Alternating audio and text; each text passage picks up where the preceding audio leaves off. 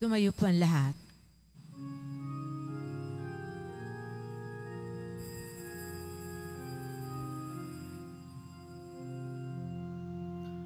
Ako'y kaawaan, o mahal kong Diyos, sangayon sa iyong kagandahang loob.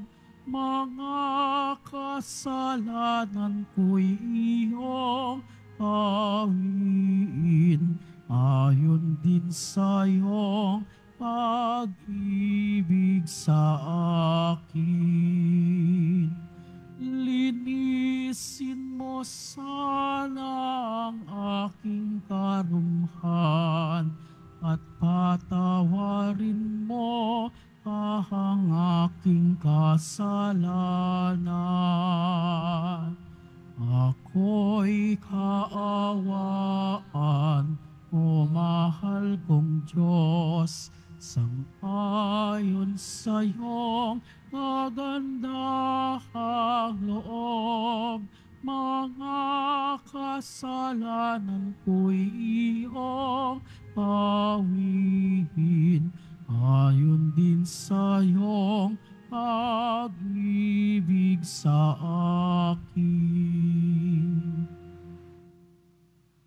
Sa ngalan ng Ama, ng Anak at ng Espiritu Santo, Amen. sumainyo ang Panginoon. At sumaiyo rin. Mga kapatid, aminin natin ang ating mga kasalanan upang tayo maging marapat gumanap sa banal na pagdiriwang. Inamin ko sa makapangyarihan Diyos. At sa inyo, mga kapatid, nalubha akong nagkasala sa isip, salita, at sa gawa, at sa aking pagkukulang. Kaya'y sinasamo ko sa mahal na Birheng Maria, sa lahat ng mga anghel at mga banal, at sa inyo, mga kapatid, na ako'y panalangin sa Panginoong ating Diyos. Kawan tayo na makapangyarihan Diyos, patawarin tayo sa ating mga kasalanan, at patnubayan tayo sa buhay na walang hanggan.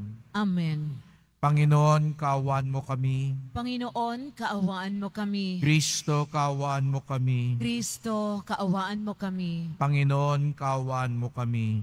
Panginoon, kaawaan mo kami. Manalangin tayo.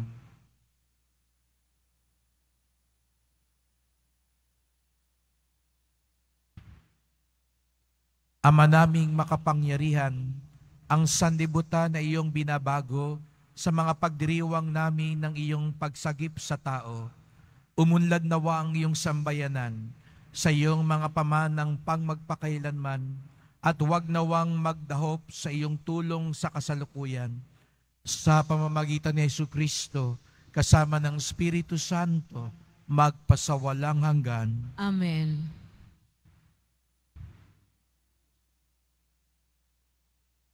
Pagbasa mula sa aklat ni Propeta Isaías.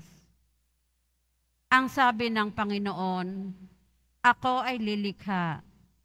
Isang bagong lupa't isang bagong langit. Mga pangyayaring pawang lumipas na ay di na babalik. Kaya naman kayo'y dapat na magalak sa aking nilalang. Yamang nilikha ko itong Jerusalem na ang aking pakay maging kagalakan ng mga hinirang. Ako mismo ay magagalak dahil sa Jerusalem at sa kanyang mamamayan. Dooy walang panambitan o kaguluhan. Dooy wala ng sanggol na papanaw. Lahat ng titira roon ay mabubuhay ng matagal ituturing pa rin na kabataan pa ang edad sandaan. Ang hindi umabot ng gulang na ito ay pinarusahan. Magtatayo sila ng mga hatahan ng kanilang titirhan. Sa tanim na ubas ay sila ang aani. Ang salita ng Diyos. Salamat sa Diyos. Poong sa akin nagligtas, ang dangal mo'y aking galak. Poong sa akin nagligtas, ang dangal mo'y aking galak. O Panginoon ko, Sa iyong ginawa, kita'y pinupurit, ako'y iniligtas. Kaya kaaway ay di na nakuhang matuwat magalak. Mula sa libingang dahil daigdig ng patay, hinango mo ako at muling binuhay. Ako nakasama nilang napabaon sa kailaliman. Poong sa aking nagligtas, ang dangal mo'y aking galak. Purihin ang poon, siya ay awitan ng lahat ng mga tapat na hinirang. Iyong gunitain ang mga ginawa ng Diyos na banal. Ang kanyang ginawa ay alalahanin at pasalamatan. Hindi nagtatagal yaong kanyang galit at ang kabutihan niya'y walang wakas. Ang abang may hapis at tigmak sa luha sa buong magdamag. Sa bukang liwayway ay wala ng lungkot, kapalit ay galak. Poong sa aking nagligtas, ang dangal mo'y aking galak. Kaya't ako'y dinggin, ikaw ay mahabag sa akin. O poon, ako ay pakinggan. Mahabag ka poon, ako ay dinggin mo at iyong tulungan. Nadama ko'y galak ng iyong hubarin ang aking pangluksa. Sa pasasalamat sa iyo, o poon ay di magsasawa. Poong sa aking nagligtas, ang dangal mo'y aking galak. Tumayo po ang lahat.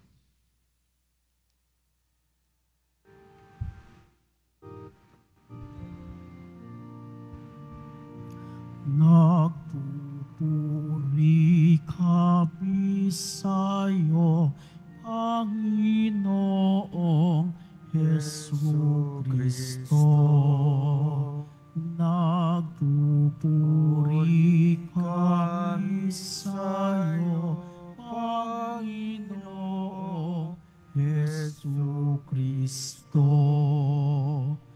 Matuwid ang dapat gawin, masama'y iwasan natin, at tayo ay bubuhayin. Ang Diyos ay sa sa atin, atin siyang makakapiling.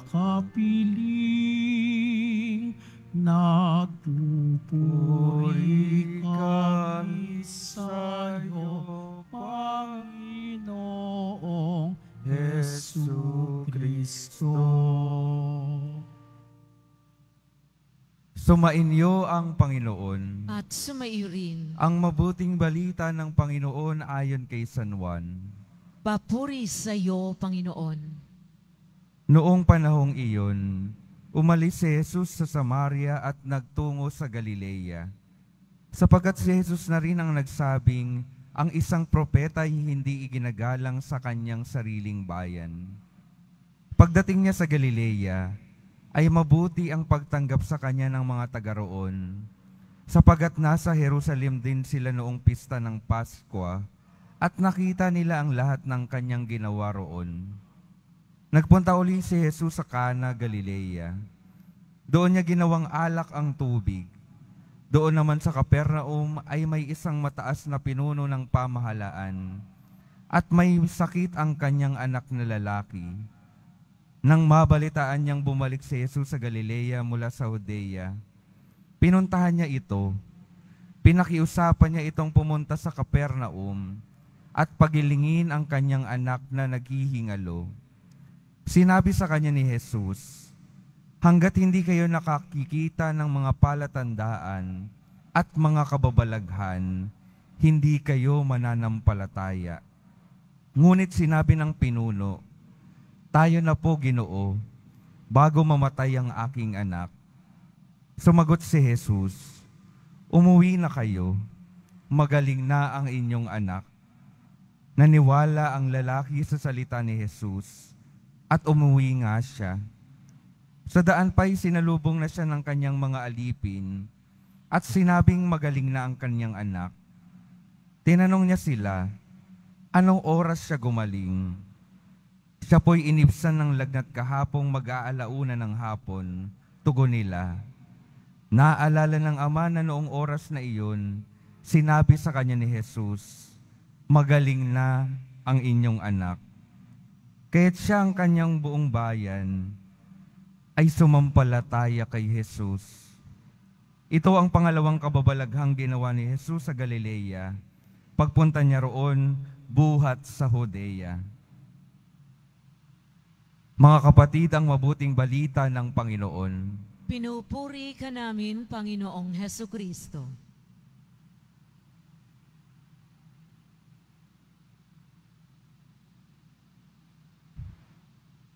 Magandang umaga po sa inyong lahat at maligayang pagdating sa tahanan ng ating mahal na pong Isus Sareno.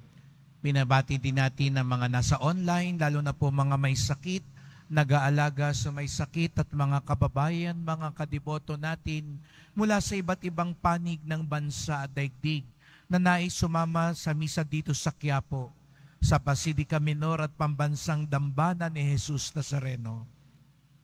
Anong patunay o patotoo ang inaantay pa natin mula kay Jesus?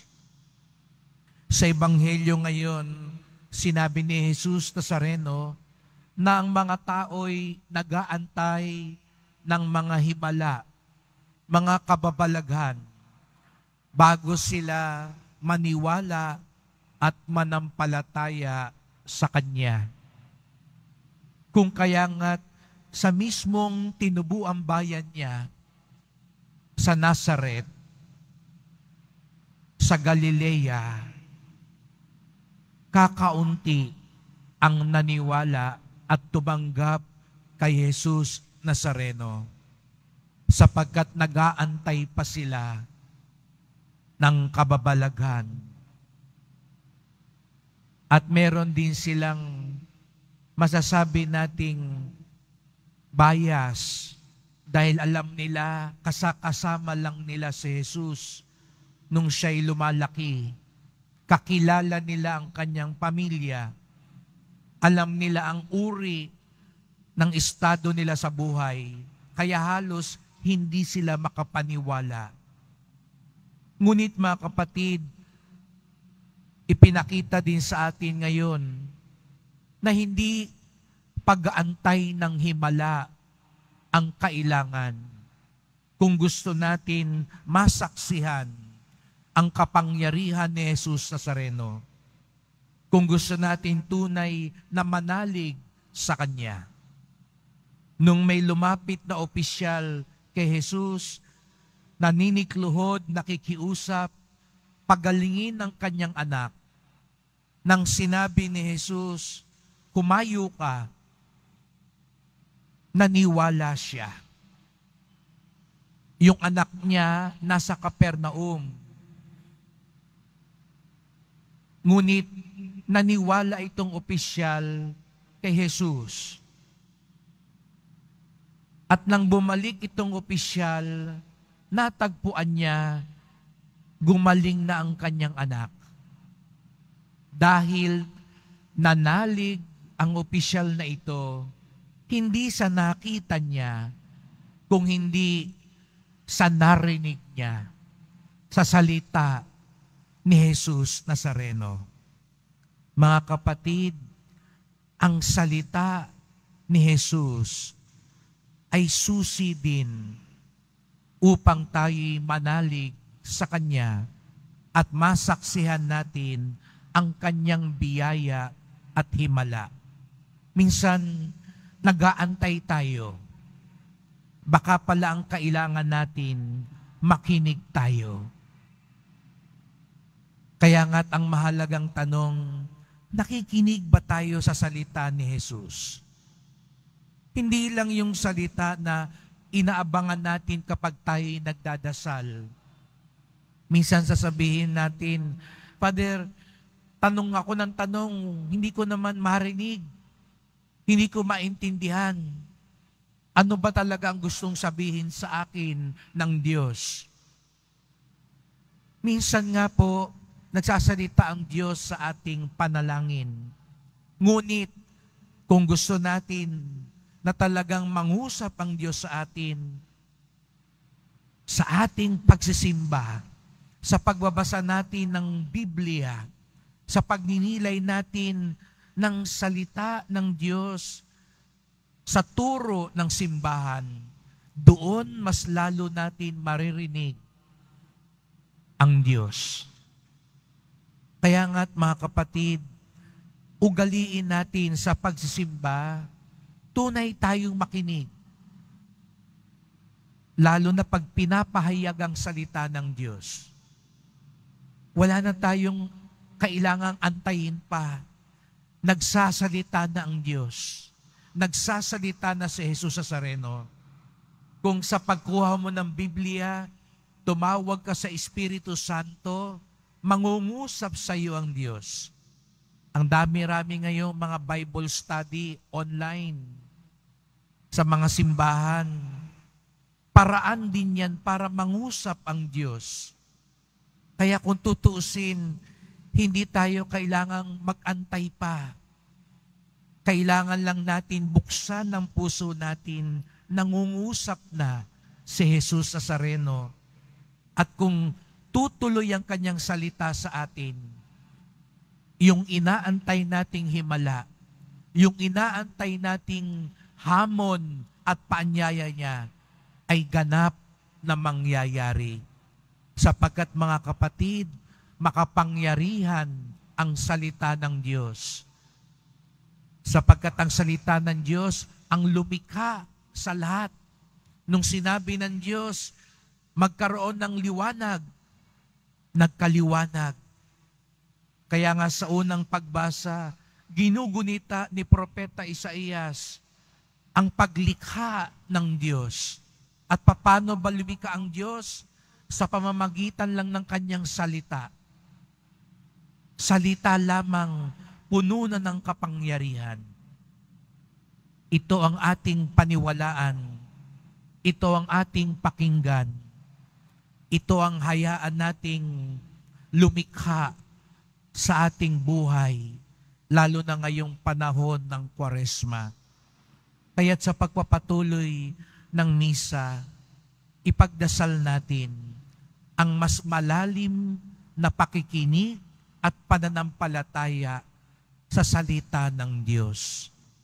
Sapagkat ang salita ng Diyos ang bukal ng biyaya at himala ni Jesus Nazareno.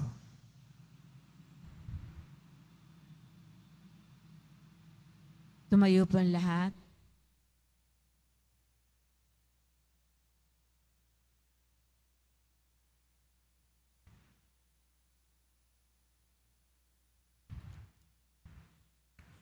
Mahal ko mga kapatid, dahil sa pagtitiwalang tutugunin ng Diyos Ama ng buong kalugod-lugod ang ating kahilingan, kung tayo'y mananalangin sa Kanya ng may pananampalataya, ang ating tugon, Ama, pagalingin mo kami sa pamamagitan ni Jesus. Ama, pagalingin mo kami sa pamamagitan ni Jesus.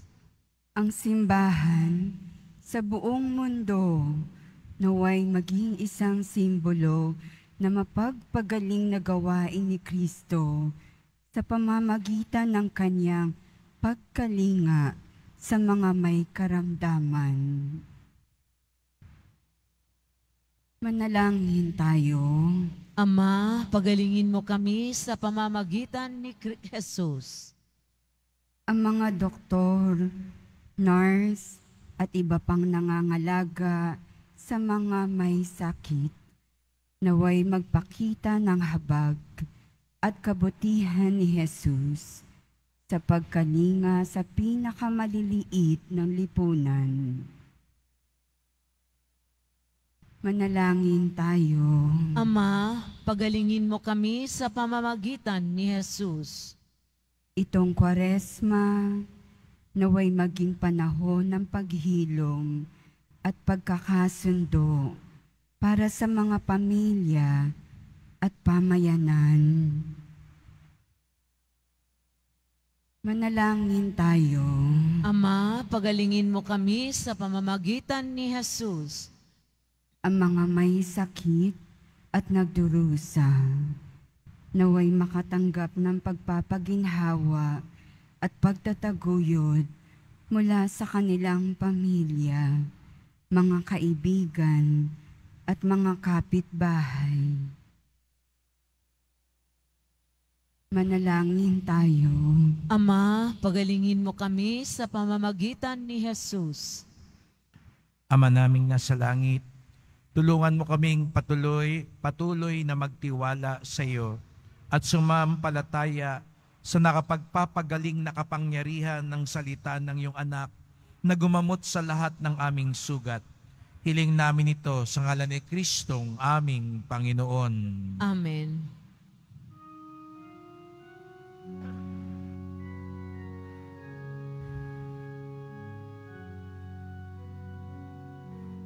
Sa gitna ng kahirapan, ang nadama ko ay aliw,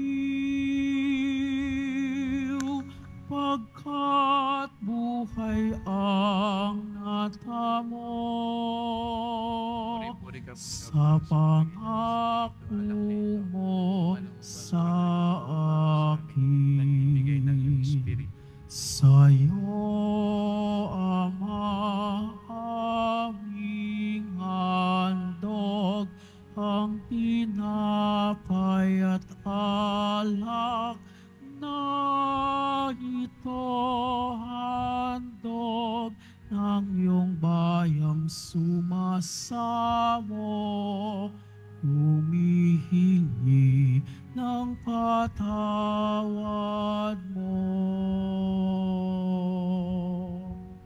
Tumayo po ang lahat. Manalangin kayo mga kapatid upang ating paghain ay kalugdan ng Diyos amang makapangyarihan.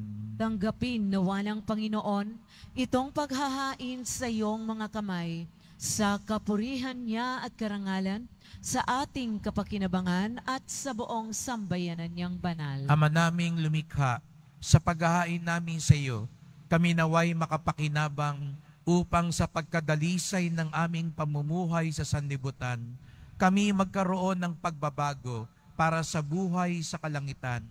Sa pamamagitan ni Yesu Kristo, kasama ng Espiritu Santo, magpasawalang hanggan.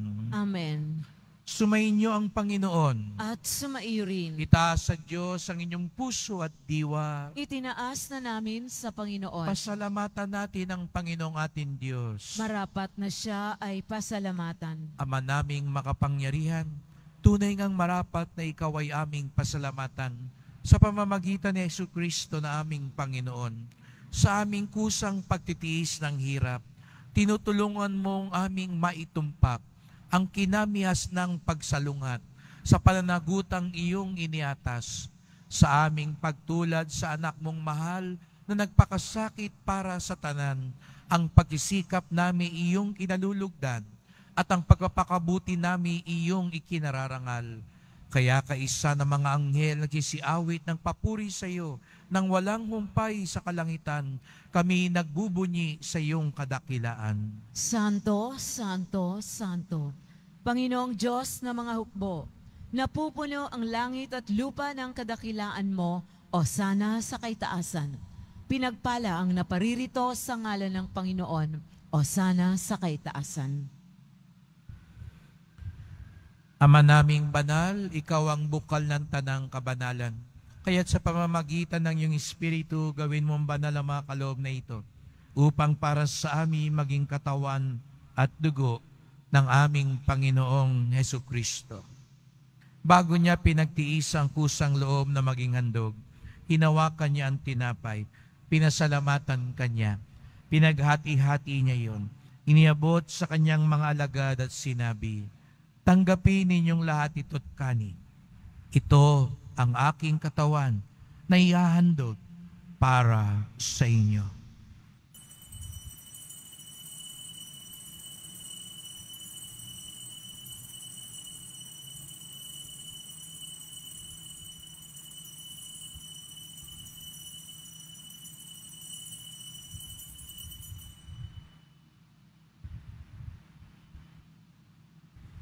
Gayon din naman nang matapos ang hapunan, hinawakan niya ang kalis. Muli kanyang pinasalamatan.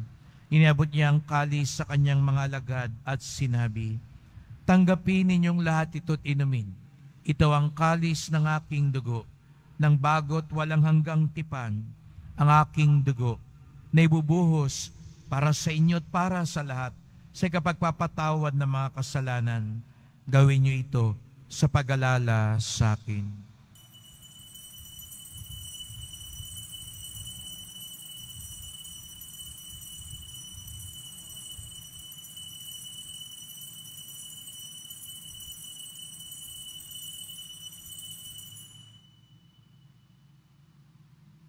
Tumayo ang lahat. Ipagbunyi natin ang misteryo ng pananampalataya. Si Kristo'y namatay, si Kristo'y nabuhay, si Kristo'y babalik sa wakas ng panahon. Ama, ginagawa namin ngayon ang pag-alaala sa pagkamatay at muling pagkabuhay na iyong anak. Kaya tinalay namin sa iyo ang tinapay nagbibigay buhay at ang kalis na nagkakaloob ng kaligtasan. Kami nagpapasalamat dahil kami yung minarapan at tumayo sa harap mo para maglingkod sa iyo. Isinasamo namin kaming magsasalo-salo sa katawan ng dugo ni Kristo ay mabuklod sa pagkakaisa sa pamamagitan ng Espiritu Santo.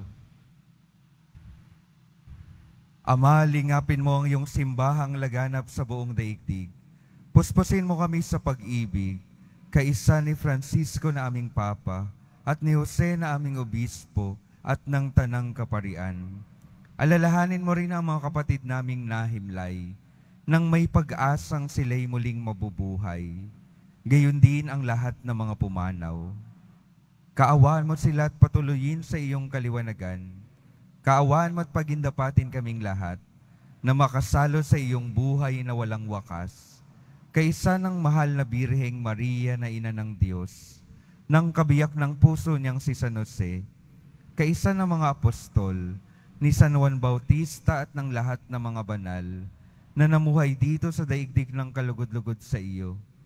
Maipagdiwang nawa namin ang pagpupuri sa ikararangal mo sa pamamagitan ng iyong anak na aming Panginoong Heso Kristo.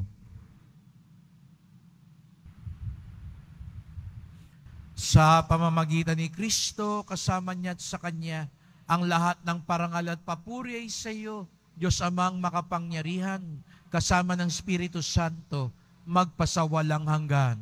Amen.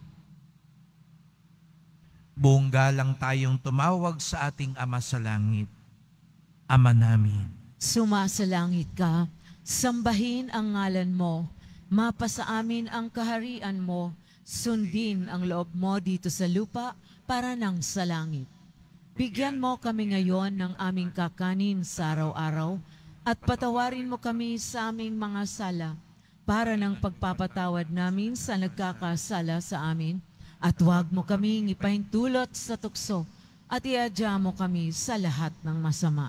Inihiling namin kami adya sa lahat ng masama, pagkalooban ng kapayapaan araw-araw, iligtas sa kasalanan, ilayo sa lahat ng kapahamakan, samantalang aming pinananabikan ang dakilang araw ng pagpapahayag ng tagapagligtas naming si Yesu Kristo. sapagkat iyong kaharian at ang kapangyarihan at ang kapurihan magpakailanman. Amen. O Panginoong Yesu Kristo, sinabi mo sa iyong mga apostol, at ngayon sinasabi mo sa amin lahat dito, kapayapaan ang iniiwan ko sa inyo, ang aking kapayapaan ay binibigay ko sa inyo.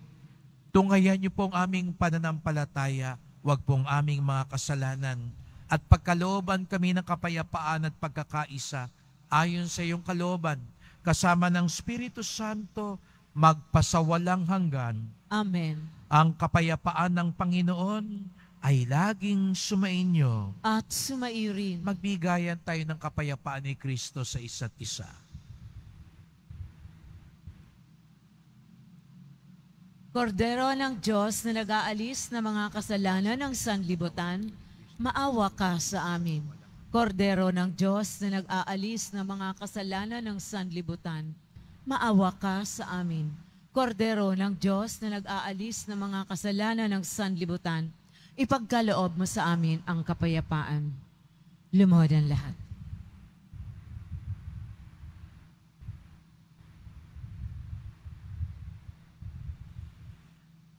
Narito ang ating Panginoong Iso Kristo, ang tagapaglunas at tagalikha.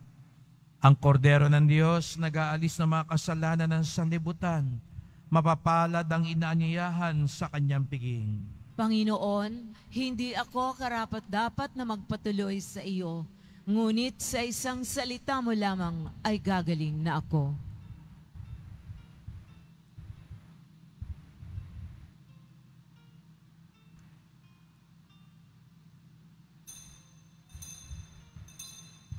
Para sa lahat ng tatanggap ng banal na komunyon, sasagot po tayo ng amen pagkasabi ng pari o ng lay minister ng katawan ni Kristo at isubo agad sa bibig bago malis sa harapan ng pari o lay minister.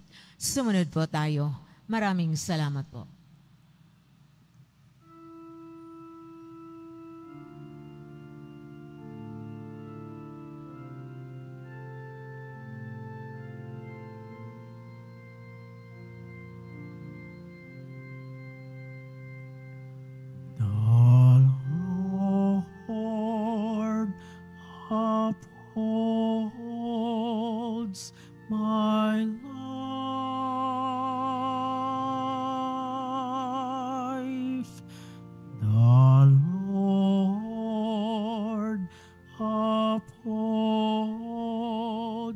My life. He served me by his name, protects me by his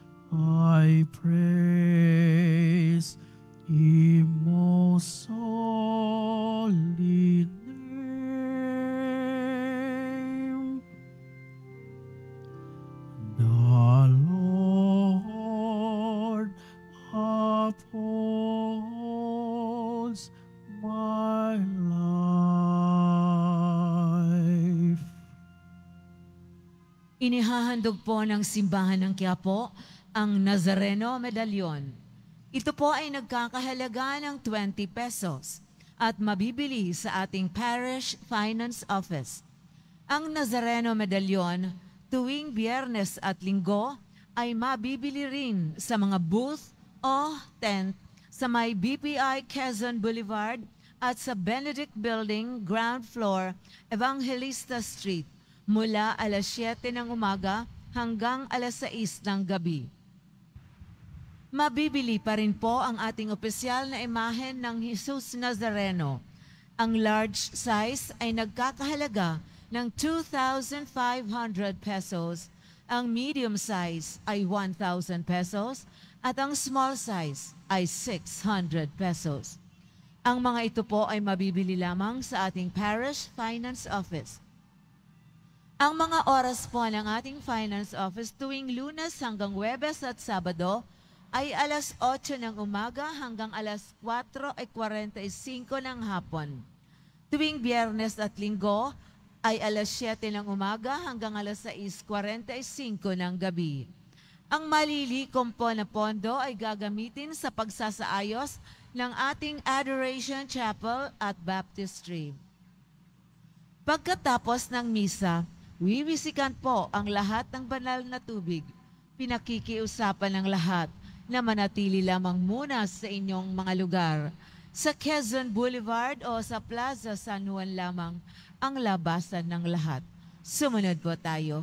Maraming salamat po sa inyong pagdalaw at pagsisimba sa Basilica Menor at Pambansang Dambana ni Jesus Nazareno. Tumayo na po ang lahat. Manalangin tayo.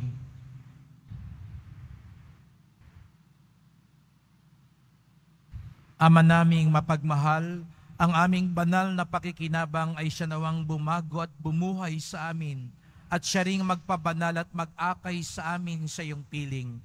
Sa pamamagitan ni Yesu Kristo, kasama ng Espiritu Santo, magpasawalang hanggan. Amen. Salamat po sa pagpunta nyo sa Quiapo. Ingat po kayo sa pag-uwi. Salamat po sa mga naglingkod sa misa at sa inyong tulong sa simbahan. Mga pamisa, love offerings, online donations. Salamat po sa mga tumutulong sa mga pagpapagawa, pag-ayos at paglinis ng ating simbahan. Sana po marami pang mga deboto ang tumulong para ang tahanan ni Jesus Sareno ay lalong magpagindapat para sa Kanya. At salamat din po sa mga nagdadala dito ng bigas, dilata, noodles, at iba pang pang-ayuda. Ang ating debosyon sa poong Nazareno ay nagtuturo sa atin magmalasakit sa ating kapwa. Huwag na tayong mag-antay ng kung ano-ano pang tanda. Ang salita ng Diyos, ang siyang makapangyarihan, pakinggan lang natin at panaligan ito at magaganap ang biyaya at himala. Sumainyo ang Panginoon. At sumaiyo rin. Mahal na pong Jesus sa Sareno, inihayag mo sa pamamagitan ng krus ang walang maliw na pag-ibig ng Diyos sa sangkatauhan. Pakinggan mo ang kahilingan ng iyong angkan na nagsusumamo sa iyo. Makamtanawa nilang iyong katugunan at tanggapin ang kasagutan ng may utang na loob na tinatanaw. Basbasan din po ninyo ang dala nilang mga imahe at dasalan. Sa pamamagitan ng bendisyon na ito, naway maalala nila mga pangako sa binyag na ikaw ang kanilang iibigin at paglilingkuran bilang Panginoon, magpasawalang hanggan. Amen. At pagpalaing kayo ng makapangyarihang Diyos, Ama at Anak at Espiritu Santo. Amen. Humayo kayong taglay ang pag-ibig at awa ng Pong Jesus Nazareno. Salamat sa Diyos.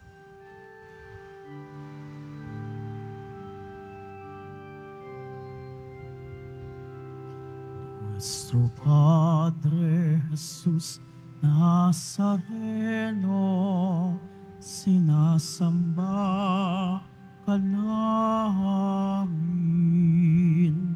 Pinipintuho ka namin. Aral mo ang aming buhay at kaligtasan.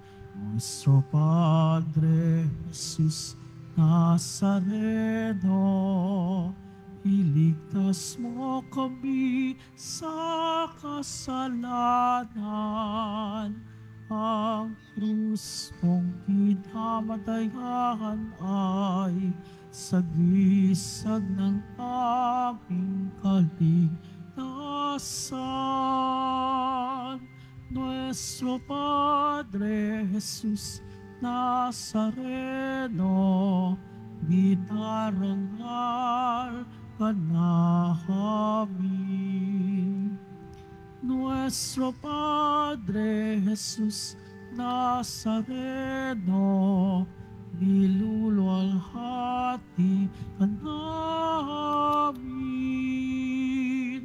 Nuestro Padre Jesus Nazareno, dinarangal ka namin. Nuestro Padre Jesús Nazareno, nilulo al hati ka namin.